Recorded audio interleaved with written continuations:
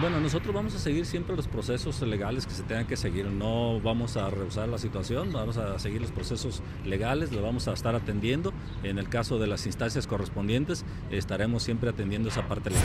Eh, estoy en la idea de que, que, sí, porque ya incluso de manera anticipada hubo ya, lo digo con, con esa digamos, no con una situación solamente expectativa, sino que ya hubo eh, de manera anticipada algunas, eh, eh, digamos, recursos que se enviaron ya al Congreso del Estado.